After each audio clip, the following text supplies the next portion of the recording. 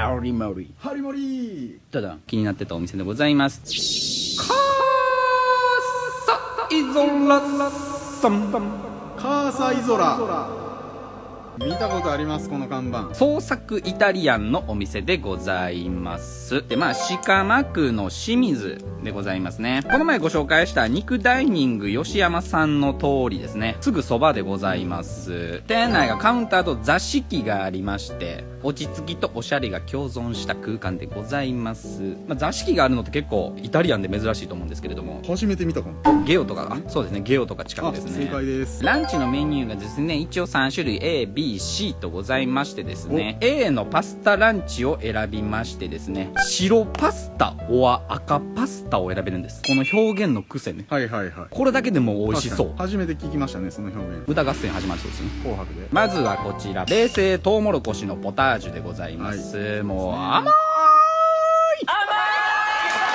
絶対美味しいやつ、そうもうコーンの食感がね若干残る感じがめっちゃいいんですよね、うんうんめっちゃ美味しい。もうこれほんまにもうバケツで欲しい。はい皆さん大好き。前菜盛り合わせでございますね、はい。何が入ってるかというとですね卵の何かとチーズと長芋の何かと、チキンのトマトの何かと、ナスの何か、オクラの何か、かぼちゃの何か。クリームチーズの甘い何か。全部何か食レポじゃなくてこの絵の説明ですからね、まあ。はい、オシャンティー前菜でございます。これはもう。いやま繊細な味でございましてもう全部美味しいですよ。ねもう何かのセットでございます。白パスタ赤パスタを一つずつ選びまして白組の入場です。焦がしバタートウモロコシのパスタ。おお。こんの組み合わせうまくないわけがない。シンプルですね。そうなんですよ、このはい。シンプルなビジュアルかつこの美味しさですね、スーパーモデルです。もう素材がいいからもう白 T だけでええやんっていう、着るのは そういう友丸さんみたいな説明はあもうちょい味の説明ちゃんとした後にせなわけが分からへんもう赤白で日によってパスタが違うんでしょう。違うと思います。黒板に書いております。こんなんめっちゃ好きですよね、自家製パンがねつい。てくるんですけれどもこのパンをですね先ほどのパスタの残り汁につけるとですね、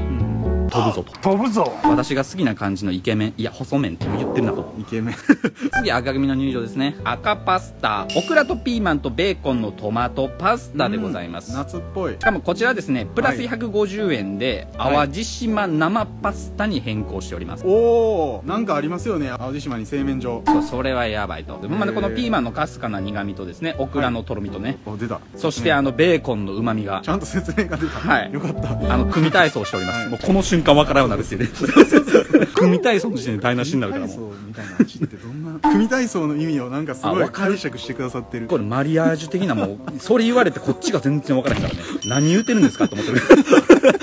ちょっと何言ってるかわからんですねって。セットのね最後に台湾茶がついてくるんですよ。台湾茶？めちゃくちゃ飲みやすい。このお腹いっぱいの状態でね台湾茶飲みながらまあ落ち着いてた時にですね、ふわーんといい匂いがしてくるわけですよ。お店の名前にも入ってるんですけれども創作炭火と入ってるので炭火を使った肉料理や魚料理が名物なんですね。へえこちらのシェフがですね家島出身でして、ああなるほどね。はい、毎日家島から届く新鮮な魚介を使ったお料理やお肉野菜など地元の食材を使って様々な料理を提供しておりますと。合点。ということでメニューもねめちゃくちゃ豊富です。黒板にもうぎっしりメニューが書いております、うんはい。このカーサイゾラっていうのがイタリア語でカーサが家イゾラが島という造語なんでございますね。素敵やん。お肉とお魚食べにもディナーも絶対に行きたいんですよね。このね炙った匂いがですね。パワーがすごい。これであのほんまに全員食欲回復したと思います。へえベホマズンと一緒。ドラクエで言うね。以上カーサイゾラさんでございました。は家島パチパチパチありがとうございます。いやほんまこれあのランチでパスタ食べに行ったんですけれども、その同じ日にディナー行こうかなってマジで悩みました。あ